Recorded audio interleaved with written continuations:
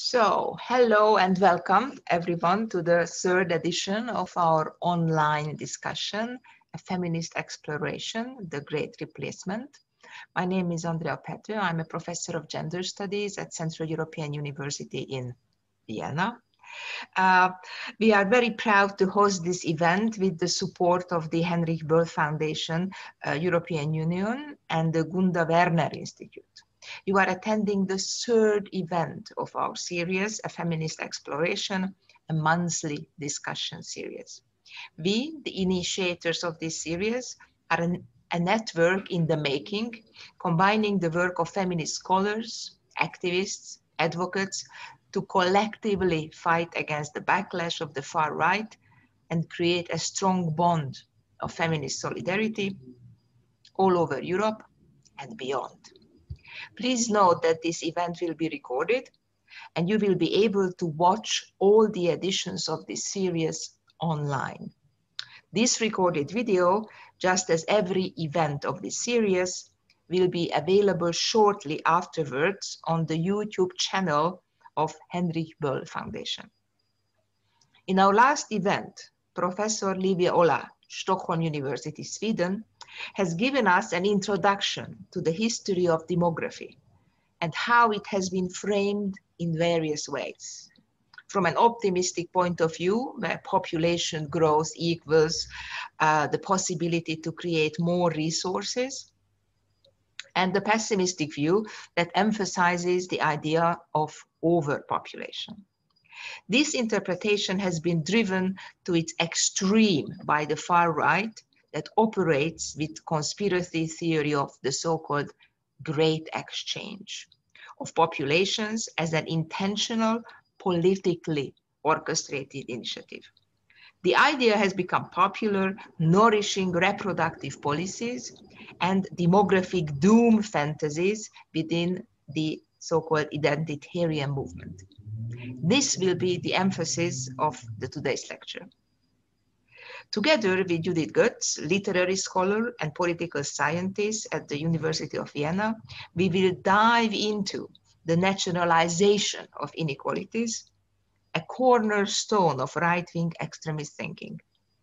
The seemingly apolitical reference to nature, normal families, or demography is highly popular in the context of gender relations, this premise openly invokes nature to legitimize racist, colonial, and classist structures. In this lecture, we will deconstruct how gender is used as a glue in this strategy, acquire an insight into the close link between anti-feminist discourses and right-wing extremism's core belief, such as to a racialized, ethnicized worldview. Questions that we will touch on are the following. How does the far right use the topic of sex gender and sexuality to bring racist population politics back into the political sphere without actually calling it by that name?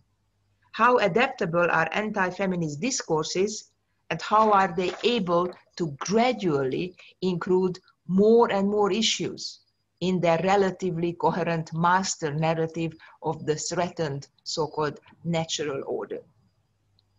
This is going to be a moderated discussion. So please feel free to submit any questions you have and we will discuss them after the input. Uh, after the input by Judith uh, Goetz, it, I will moderate a short discussion and um, uh, disrespectful comments will be not tolerated. Uh, and we plan to leave 20 minutes to take questions from the audience. If you have questions, please submit it through the chat function at the bottom of your screen. By now, everybody is familiar with the Zoom, so this is at the bottom right screen. So now I'm very glad to pass the microphone to Judith Goetz. Thank you very much, and we are looking forward to the talk. Thank you. Hello and a very warm welcome also from my side. Uh, thanks for organizing this lecture and thanks for joining the lecture this afternoon. I will briefly open my presentation and then I will start. Okay.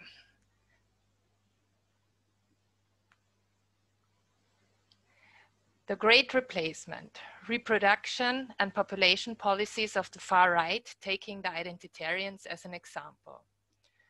Starting point of this lecture is a reconstruction of the key argumentation patterns the extreme right in German-speaking countries use for supporting their reproduction and population policies. I will then continue with analysis of relevant narratives, taking the far-right group of identitarians as an example. In particular, the campaign Stop the Great Replacement, which was initiated in 2014 by their Austrian chapter. Within the framework of a critical discourse analysis, I investigated how the identitarians have updated the key argumentation patterns of far-right reproduction and population policies, although basically they only modernized the language of decades-old ideas. And I've also looked at which role gender-specific aspects have played in this con context. I will show that right-wing extremist reproduction and population policies mainly form around the narrations of a decline in the birth rate of the autochthonous population, of an exchange of populations due to immigration, multiculturalism, and Islamization, and of an aging society. To the greatest part, these lines of argumentation are mirrored within the identitarian discourses on demographic policy. Moreover, this complex of elite problems is closely related to far-right concepts of gender relations. The ideas presented by right-wing extremists as well as the identitarians for preventing the imagined exchange of populations show clear notions of gender roles.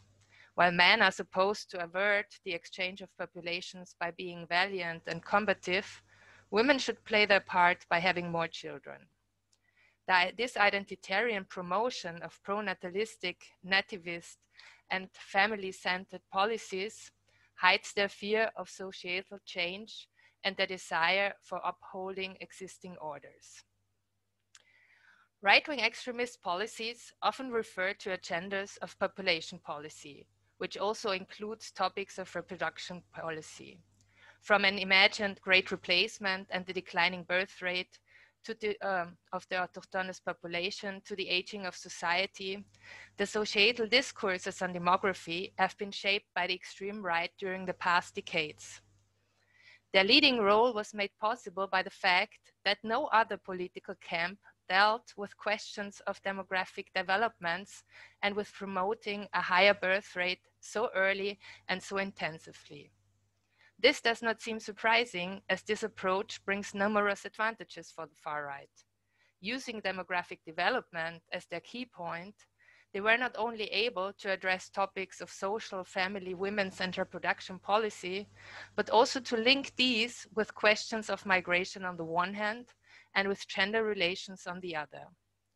The narrative of demographic change, which is still present until today, opened up opportunities for the far right to modernize racist discourses and to establish their topics in mainstream media and thus the so-called center of society.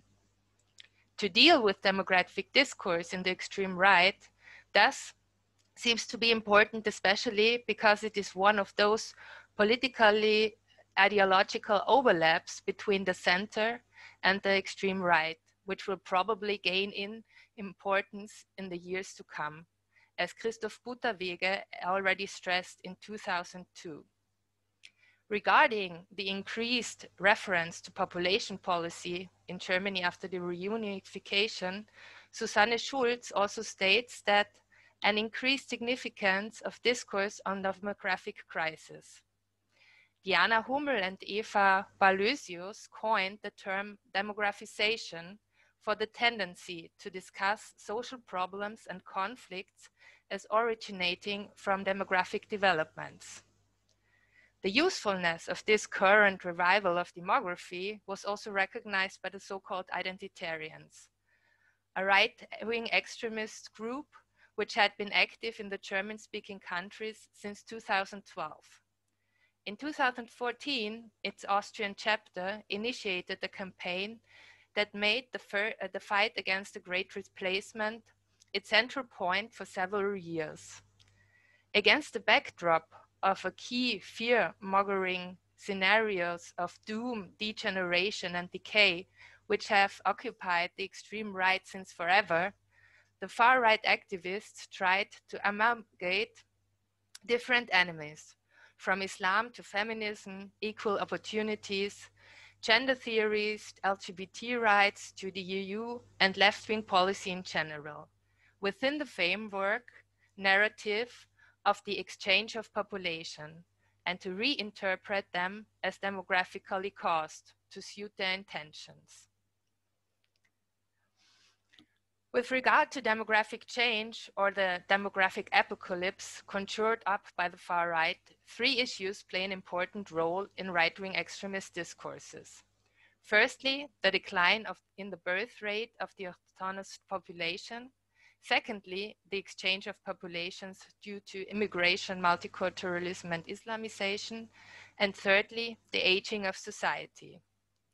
According to right-wing extremist ideas, the first problem is caused by feminism and women's emancipation, gender theories, and LGBT rights.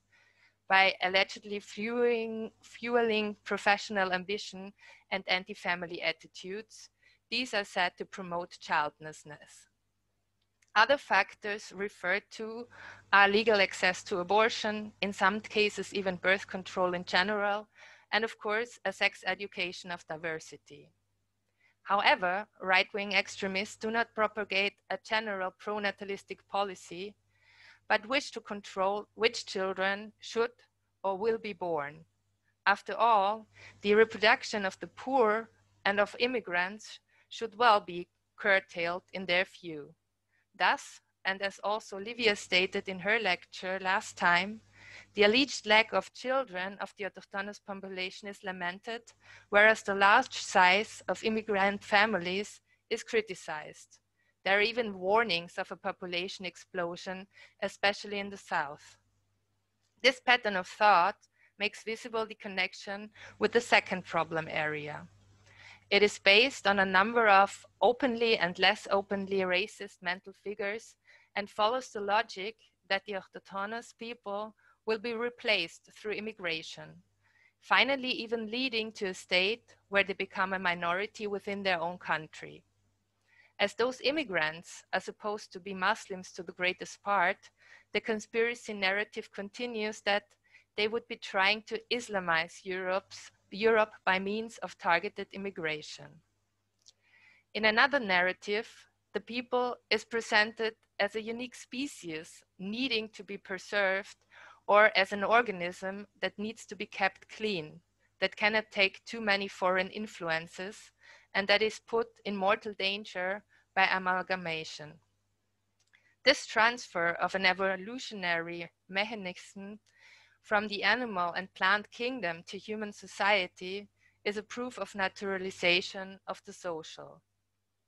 The aging of society, in turn, is interpreted by right wing thinking as the absence of young, virile men, which is said to contribute to the weakening of the people by undermining its defensive potential and its ability to compete in general, but also in economic terms. I will now move on to the gender aspects of right-wing extremist population and reproduction policies. Summing up, it can be stated that right-wing extremists imagine the people being threatening threatened from within and from the outside. The process of decomposition being caused by too little birth on the one hand and by foreign infiltration on the other. This threat scenario makes it possible, among other things, to declare feminism and Islamization as an enemy of the people and to imply a common interest and a common strategic approach. The continuous criticism of current demographic policies of the far right seems to have furthered the connection between discourses of anti-feminism and population policy. The anti-gender discourse in particular provides right-wing extremist activists with a narrative which allows them to articulate racist ideas in a way that is acceptable way beyond the circles of the far right. The presented problems and their reasons, as determined by the far right, are closely intervened with right-wing extremist notions of gender relations. The pronatalist, nativist, and feminist policy that is proposed as a solution for the declining birth rate means for women in particular, among other things, limitations of the right of self-determination of their bodies, an increased dependency of the family breadwinner, and the renaturalization of the social, which fundamentally tries to force women back into traditional gender roles. The ideas presented by right-wing extremists for preventing, preventing the imagined exchange of populations for this reason also shows clear visions of gender roles.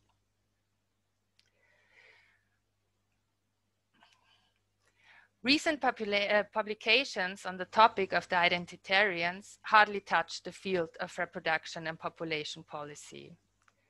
An analysis of the identitarians' political agenda quickly reveals the dominance of two political fields, discourses around migration and around population policy, typically in combination. Thus, the described demographization of social problems and conflicts described above can be observed also in identitarian statements. The narratives of the extreme right described above, declining birth rate, exchange of population, aging societies, are used by the identitarians as well, especially in their campaign against the Great Replacement, which was initiated in 2014 and was able to disseminate this narrative of conspiracy. Where the extreme right in the past talked about Volkstod, death of the people, or Umvolkung, ethnicity inversion, this has been replaced by the synonym of great replacement during the past few years. The term goes back to Renaud Camus, a French writer of the extreme right. From the beginning, it served as a strategic alternative to those older, politically tainted concepts. In accordance with the meta-political approach of the identitarians, it was also meant to give a new meaning to key discourses, thus changing and updating the hegemonic and therefore dominant interpretation and embedding them to, uh, on the long run firmly within social awareness. The identitarian core narratives are more or less identical with the discourses described and illustrate the demographization of social problems. Along this line, the identitarians see the Great Replacement as a demographic process resulting from a combination of mass immigration and a low birth rate among the native population. In Flocks, their leader, Martin Sellner, elaborates on his conspiracy myth of a planned exchange, which allegedly wants to change a monoethnic population into a multicultural one, being forced, I quote, up the, uh, upon the European people by supernatural elites, I quote ends. Within this campaign, the identitarians also referred to the declining birth rate. I quote, due to the declining birth rate among Austrians, the native population continues to shrink year after year, and yet the total population keeps growing. Quote ends. The identitarian demands are mostly identical with those raised by the extreme right so far. I quote, we demand a children and family friendly policy so our people will still exist in the future. Quote ends. Using slogans like Heimatschutz ist Lebensschutz pro-life is pro-homeland, which are well known in far-right extremist circles, the German identitarians also condemn abortion as it allegedly contributes to releasing the individual from their responsibilities. And thus, I quote, degrading children to disposable products, to interchangeable commodities like old cell phones or empty coffee cups, quote ends. Additionally, the number of births and abortions are offset against another and associated with the change in population. Quote, demographic change and infiltration are thus the homegrown evil of an unmanly and decadent society. Quote ends. Finally, also the discourse around the aging of society found its way in the political statements of the identitarians. In an article in the right-wing magazine Sezession, Martin Sellner, the already mentioned leader, writes about an aging society which also creates a lame and weakened youth, directly alluding to the idea of the lack of combativeness. The construction of these doomsday scenarios always contains an appeal to men and women alike to become active and to take part in the identitarian savior fantasies. According to identitarian rhetoric, this means for men to become valiant again and to take on supposedly natural masculine tasks like protecting the fatherland, the people, and the women from the invoked threats.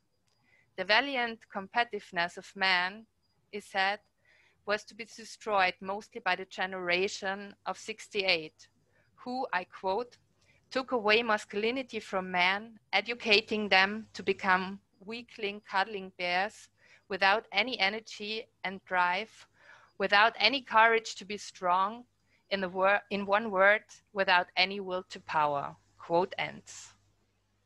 Women as well play a central role on several levels of the great replacement narrative firstly as victims, secondly as culprits, and thirdly as mothers. On the first level, women are presented as the main victims of the Great Replacement. On the one hand, it is said men defined as foreigners intend to curtail their rights. On the other hand, autochthonous women are threatened by sexualized violence by exactly these men. This approach was used, for example, in their campaign 120 Decibel, which was initiated by identitarian women in 2018 in order to create an identitarian or right-wing extremist Me Too. In a video published on YouTube, several female identitarian activists made reference to recent violent crimes against women and stated that they felt continuously threatened by men defined as foreigners this being the reason why they always had to carry a 120 decibel pocket alarm with them. Subsequently, they asked, with little success, other women to post under the hashtag their experiences with sexual violence perpetrated by allegedly foreign men. In the second strand of identitarian discourse, women are assigned responsibility for the great replacement as women vote significantly more often than men for liberal or left-wing parties, they are portrayed as enablers of the great replacement through liberal immigration laws and refugee-friendly policies. Following this misogynist logic, women not only play a crucial, a crucial role in enabling the great replacement, but they always also have to blame themselves for cutting for the cutting back of their rights and for the sexualized threat by perpetrators defined as foreigners. The third discourse strand takes up the pronatalist impulses among the identitarians and centers around the notion that women could prevent the great replacement by having children. Continuing the demand for our children, children and, and family-friendly policy, the accomplishments of mothers should be recognized as they guaranteed that our people will still exist in the future, say the identitarians. This shows how the identitarians' gender perceptions are modeled in a deeply biologistic way as dichotomous and complementary archetypes they referred to women mainly in terms of motherhood and reduced their role in preventing the imagined exchange of populations, most importantly to their childbreeding bearing potential. To conclude, it can be said that right-wing extremists imagine a decomposition of the people from within due to a low birth rate and from the outside by means of infiltration. Ultimately, as Schultz points out, current discourses on demographic policy center around questions of how the body of the national people should be composed in the long run and which nationals we will need in the future. Thus, it is possible to derive right-wing extremist solutions from these problem complexes of social, family, and population policy, whose primary objective is the biological reproduction of the people and whose corresponding discourses of demographization can open up spaces of political resonance. This includes, among other things, demands for a promotion of a child-friendly, pronatalist policy for a privileged status of the heterosexual nuclear family or for a strengthening of national sentiment in order to increase the people people's dedication to its own preservation and to further their commitment against egalitarianism and multiculturalism as these allegedly means, mean a leveling down. The ideas presented by far-wing extremists like the identitarians for preventing imagined, the imagined exchange of populations also show clear visions of gender roles. While men are supposed to avert the exchange of populations by means of valiant competitiveness, women should play their part by having more children. At the same time, men and women are alike are called upon to stop ideologies like feminism, multiculturalism, liberalism, and egalitarianism from wielding their alleged destructive power. The identitarian promotion of pronatalist, nativist, and family-centered policies also hides their fear of change and underlines their desire for upholding existing orders, which find their expression in a racist mania of homogeneity and the biologistic gender concepts.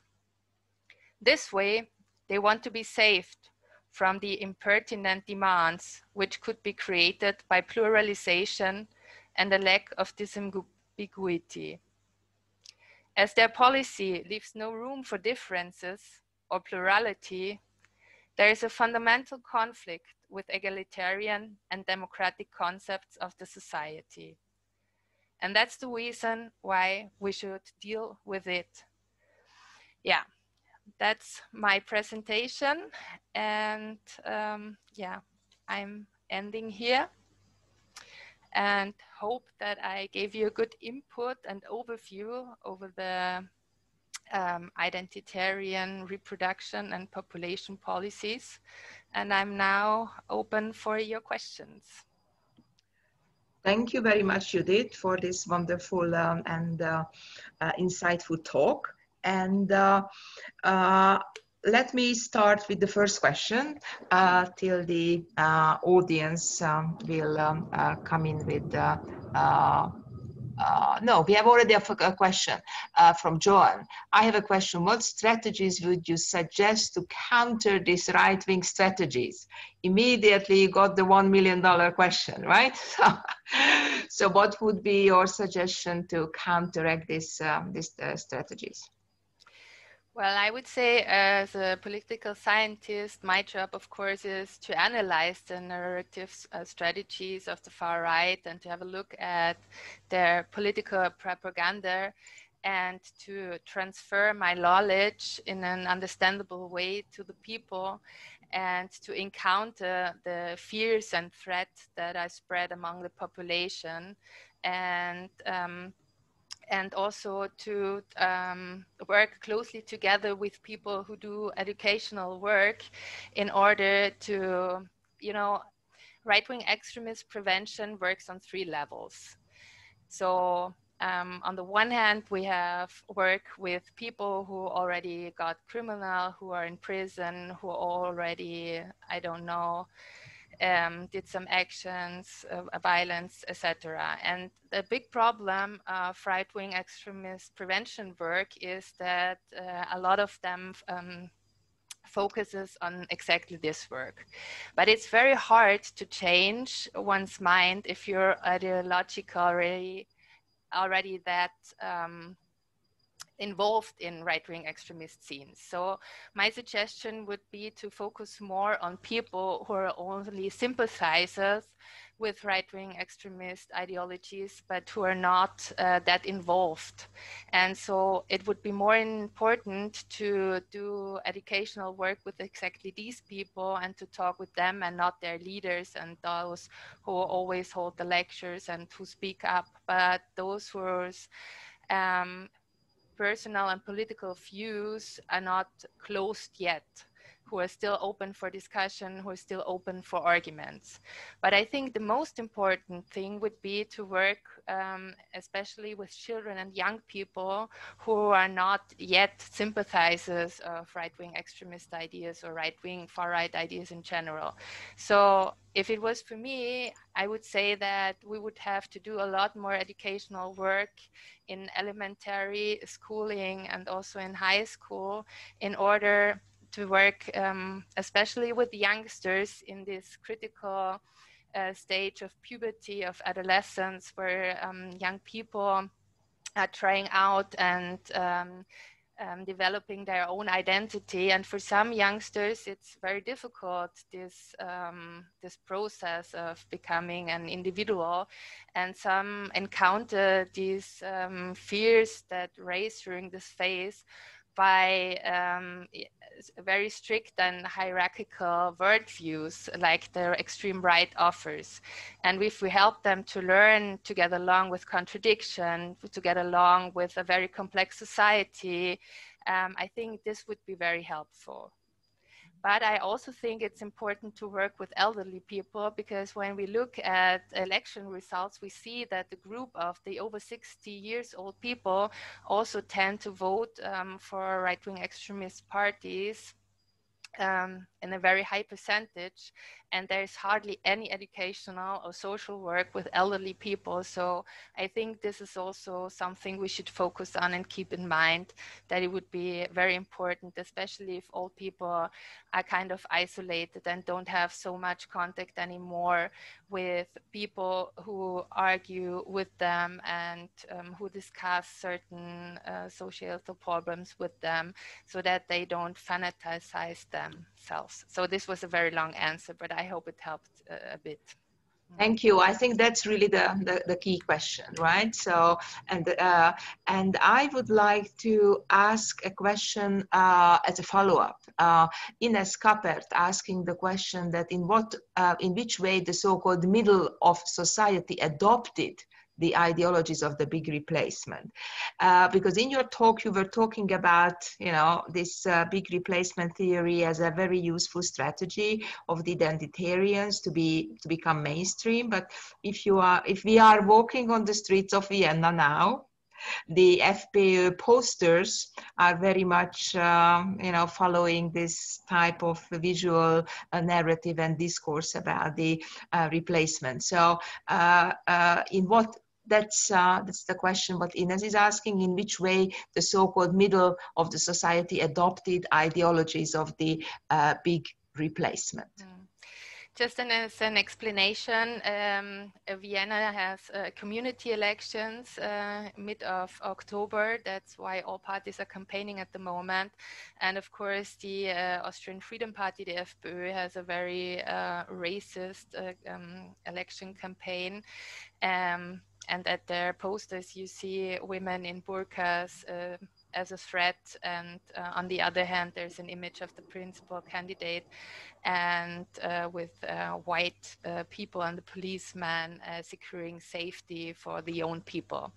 And of course this narration of an exchange of the population is very old. This is, was not invented by the identitarians. Actually it's also very strongly used in the neo-nazi scene but with other terms. And the um, the uh, greatest um, achievement of the identitarians was to popularize this uh, myth among the um, center of society by using terms that are not so tainted and that, I don't uh, that, that, don't seem so dangerous.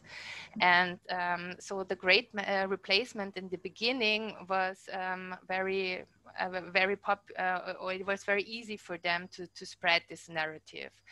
And I think um, their strategy was uh, very successful also because they uh, do these spectacular actions where they try to popularize their political messages and throw um, from um, time to time more and more newspapers use the term spread the term and so um, it resulted that now politicians that are not close to the identitarians use this term and that also mainstream media uses the terms, journalists use the term, and so on. So this was their successful strategy.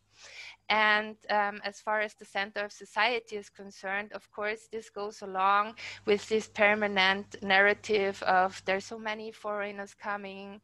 And um, there's also, you know, when you hear people talking in the metro stations and in the underground, when they say, well, you hardly hear any German word. So they see everything as a proof of this conspiracy myth, even though when you look at statistics, um, this um, might not be um, proof that there's an actually exchange going on. And of course, I mean, um, we live in a, a, migration society, and uh, the whole world um, is uh, has been. Um, uh, people all over the world migrated for decades and centuries. So, of course, we all live in a in a society that has faced migration for a long time, and um, but I think that the main thing about popularizing this uh, myth is um, that that is so successful um, in in um, brought through the mainstream media into discourses of the center of the society.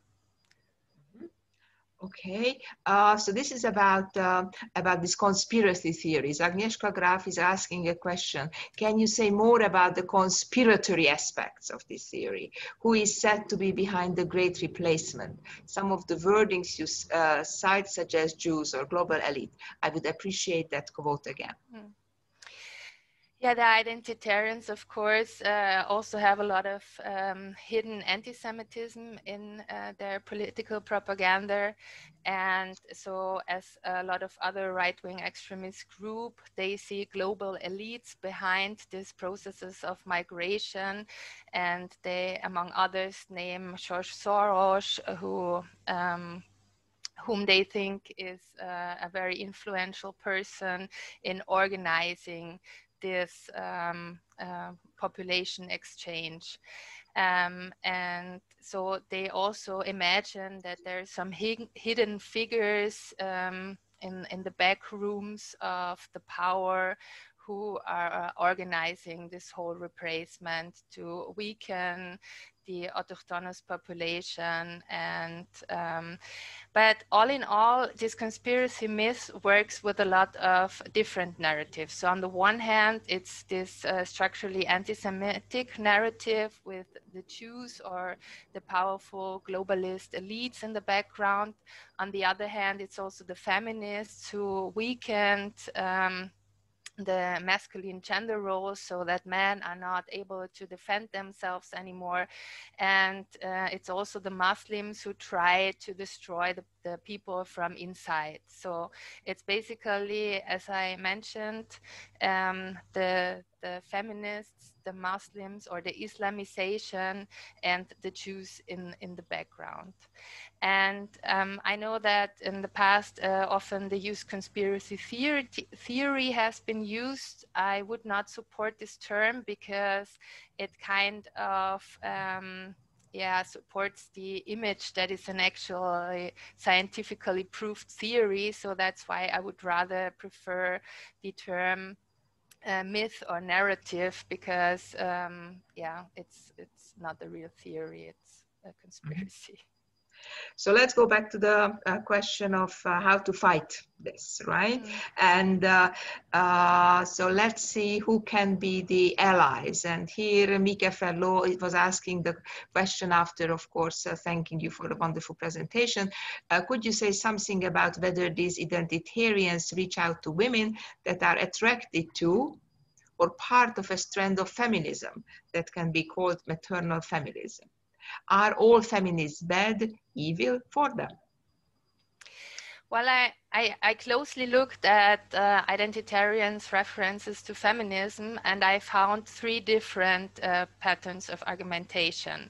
One is that feminism is the cause of all evil, of modernization and um, a liberal society. So, feminism as a great enemy. Then I also found attempts to look for something like uh, folkish feminism, um, namely by uh, referring to uh, women uh, historical women also who try to argue that men and women are equal but have different uh, roles in society and who also strongly argue with biologistic arguments like that women are very linked to nature and that women are so social and because of their ability to bear children they are more linked to nature and stuff like that. And the sec uh, the third narrative which i find the most important one at the moment is to uh, present anti-feminism as the real um, fight for women's rights. And they do this by several discursive tricks, I would say. One trick is, um, for example, that uh, they argue that the fight for women's right was legitimate, uh, legitimate in the past, namely that it was good that women uh, got the right to vote and access to university. But this was all in the past, and now we live in a society where women and men are treated equally, and there's no discrimination of women or no gender discrimination. And um, the and this opens up two following arguments. On the one hand, um, they can um, argue against feminists and say, well, that what, fe what feminists do at the moment, it's all luxury prob uh, problems. Uh, they never get enough. They always want to spread um, fights amongst the genders. They uh, want to forbid us to be man and woman, and they want they always have these strict uh, language regulations and so on. And at the same time, they present themselves as the real defenders of women's rights because their um, second argument is we live in this society where everything is fine and men and women are treated equally. But now the migrants that are coming to Europe, they, they are re importing patriarchy and uh, so they are endangering women's rights. And since uh, feminists are so liberal and refugee friendly, and also the leftist parties are so liberal and refugee friendly, the right wing parties and the right wing organizations are the only ones who stand up for women's rights and defend women's rights against migrants and the imported, so called imported patriarchy by um, uh, uh, migrant men. Thank you. There is another aspect of this uh, fighting against this kind of ideas, and that is uh, the second question Ines Kappert was uh, asking. How is uh, the European Union currently dealing with it? Having a commissioner for democracy. So uh, do you have a response on this, that uh, how the European Union currently dealing with this kind of discourses of the so-called great replacement? Well, I don't, I'm not an expert on the European Union, so I can't answer this question in particular, but I think um, uh, since uh, a lot of the uh, recent uh, right-wing terrorist attacks also use this conspiracy myth as legitimization of um, uh, of their attacks, I think um, some people at least opened up their mind a bit that this is a very, very dangerous conspiracy myth. For example, uh, you know, the um, perpetrators of the uh, right-wing terrorist attack in Christchurch uh, named his manifesto after the same uh, slogan, namely the Great Replacement, and also the uh, perpetrators in Halle, in Hanau, in uh, El Paso, they always referred to the same narrative. And I think so for this reason, there's more discourse going on about um, uh, how dangerous this uh, narrative actually is, and that you know the um, propaganda of words can actually lead to attacks and the killing of people in the name of the combat against the Great Replacement. Mm -hmm.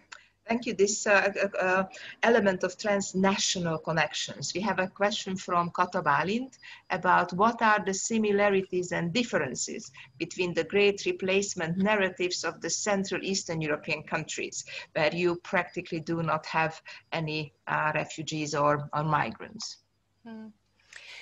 Um, I'm also not an expert on uh, Eastern and uh, Southern European countries, but I know that there are identitarian groups also in uh, Slovakia, in Poland, in Hungary, in Czech Republic, in Slovenia, and as far as I followed them, I saw that they also took over this uh, campaign and that they supported this campaign and that they used the um, main arguments that the identitarians in Germany and Austria are using. So at least there's this influence um, of of the identitarians, uh, the German-speaking identitarians also in these countries present through the political propaganda.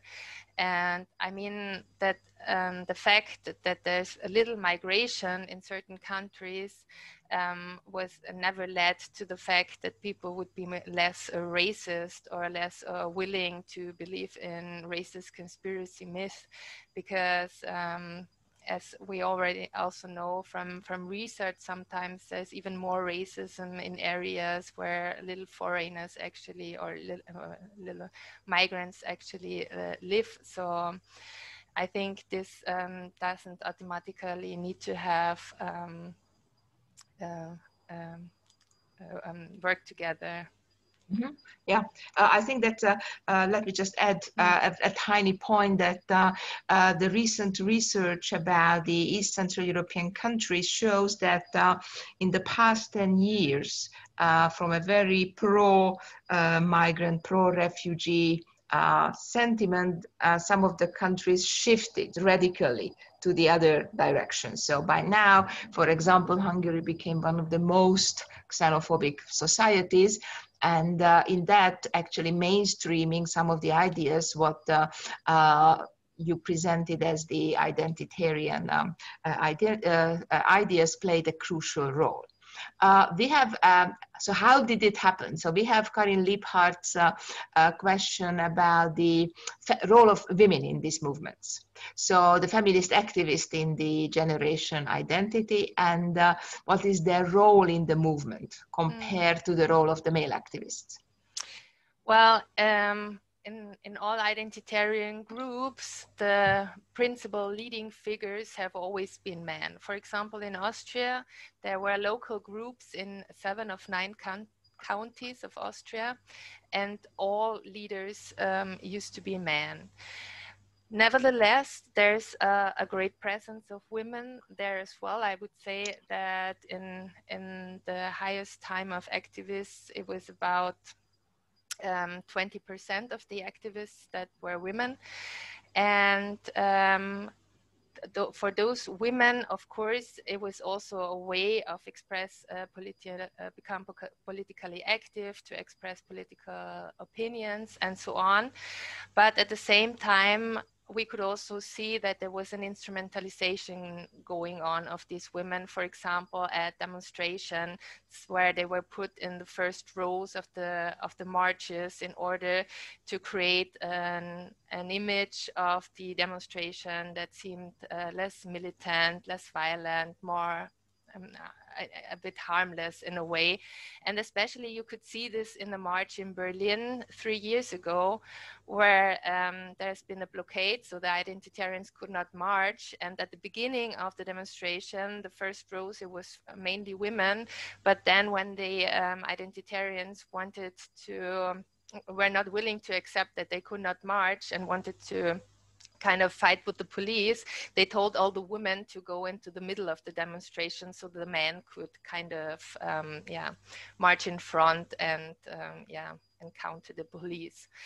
And um, we also know from a woman that recently left the identitarian movement that even the campaigns that were started by the women within, I, would not say movement because the identitarians um, have never grown that big that they were actually a movement. So this is a kind of self self um, presentation to make them bigger than they actually are to call themselves a movement. So I would rather speak of the group, and. Um, uh, a woman that left the group and um, who had been very involved in this uh, 120 decibel campaign that I also mentioned, who uh, criticized after leaving the group the sexism in the group. And she, um, in an interview, also stated that every uh, every decision was taken by men and that they would never um, uh, let the women decide independently and that was also why she left the movement she's still active in other racist structures and she's still a racist but she left the, the group and um, you can also see a lot of attempts to, to form subgroups of um, the identitarians. For example, there was a project uh, called Radikal Feminin, organized by two women. They had a homepage and, uh, and also these uh, video blogs where they talked about um, current political issues. And then the 120 decibel campaign. Then there was an own Twitter account, and on uh, uh, Facebook account. Um, I mean, from Facebook, they got um, deleted by deplatforming, but from Twitter, and uh, they deleted the, the, account themselves after this fight uh, when this one activist left. And also the other campaigns like 200, uh, 120 decibel and uh, Radikal Feminin did not have much success. So within a year or a bit longer, they all vanished from the internet again. And um, yeah, were no no real success. Mm-hmm. Thank you. Uh, a, question about the uh, organization, uh, Asha Ekwal. Uh, these right-wing groups seem very well organized in many countries, intimidating and threatening women's rights activists, for instance. They also seem to have money. Do we know anything about how they learn to organize and how they are funded? The foundation thing is actually very very difficult. I am we, we just have speculations. For example in germany there is this uh, 1% ngo and it's very likely for example that they get money from there.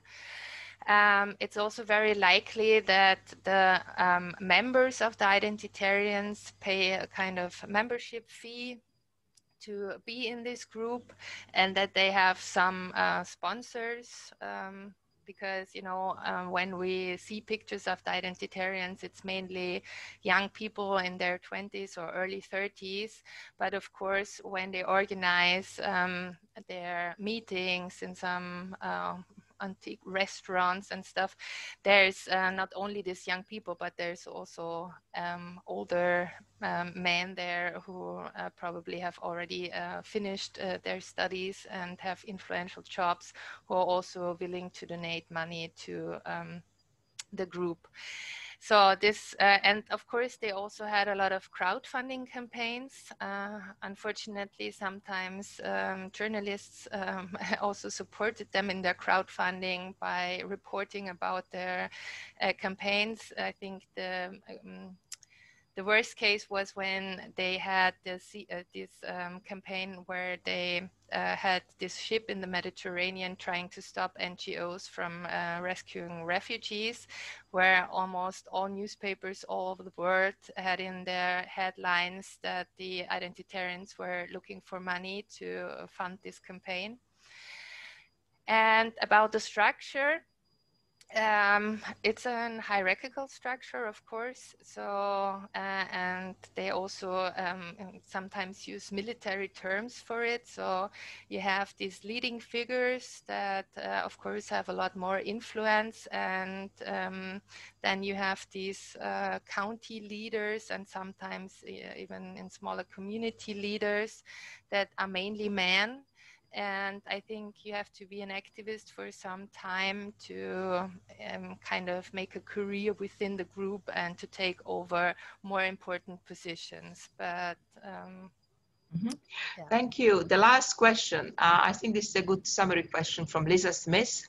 Uh, uh, do you have any comments on why gender is so often a central platform for right-wing extremism?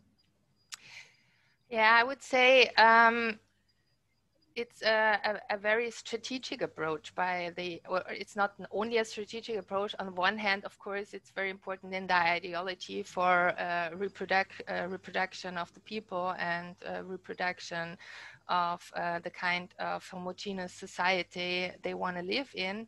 But on the other hand, I think this, um, as Andrea said also in the introduction, this uh, fear of gender, gender theories um, also functions as a glue that unites uh, very different actors. Um, or that functions as a bridge between different political spectrums.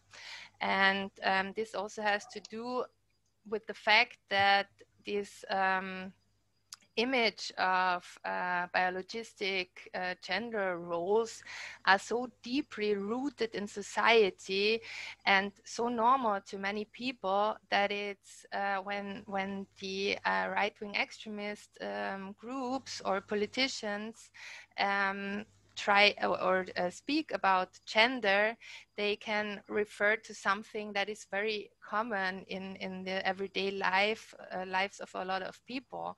And so this also helps them to get out of this right-wing extremist notion by referring to, well, we all want to be the gender that we're born with and we have these natural roles and women and men are different and they have different roles in society. This uh, these um, thoughts are so deeply rooted in society that it's not a right-wing extremist thinking per se but it's mainstream.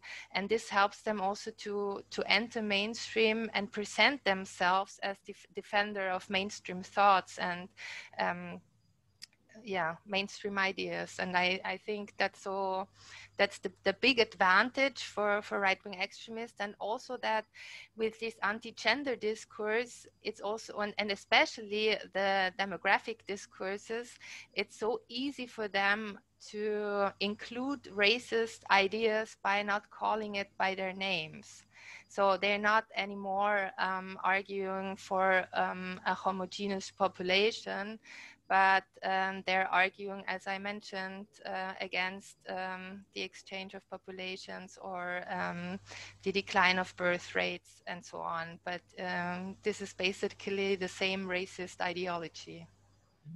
Thank you very much, Judith. And uh, I have to apologize for several colleagues and uh, participants whose questions we did not have the time to respond. But uh, uh, the so many questions actually prove that this kind of discussion and this kind of topic is so timely and so interesting. So thank you again, Judith, for your uh, uh, participation and your really important input. And let's close here. The recording will be available available on the Böll Foundation um, website. And please watch out for future event for the feminist platform. So thank you and have a nice evening or afternoon or morning, wherever you are. Thank you. Bye.